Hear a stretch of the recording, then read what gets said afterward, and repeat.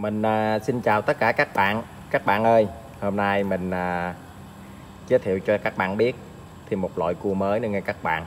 Đó là cua đỏ nghe các bạn.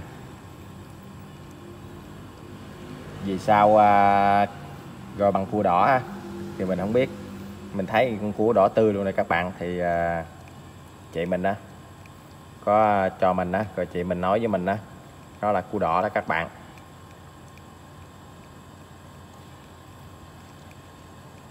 Công nhận bàn cua cái màu nó đỏ tư dòm. Đẹp quá, các bạn ơi.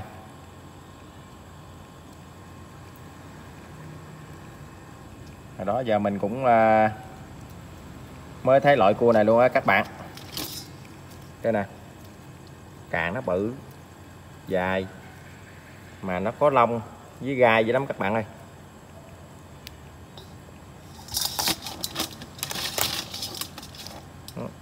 Các bạn thấy không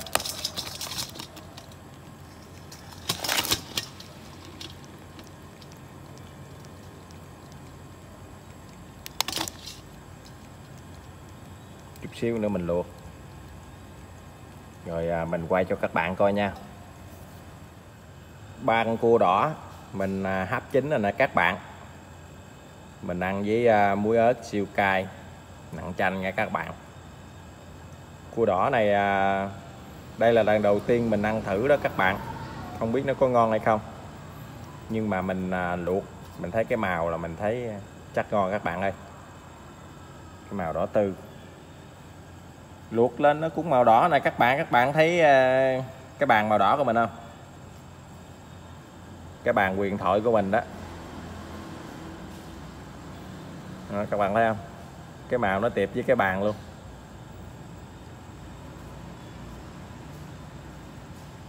Công nhận. Ngon quá các bạn ơi. Chén muối ớt các bạn thấy không?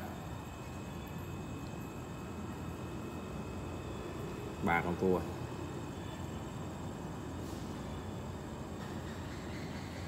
Ba con cua đỏ.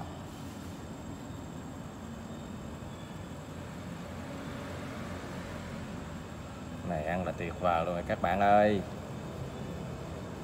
mình mời à, tất cả các bạn ăn cua đỏ với mình nha.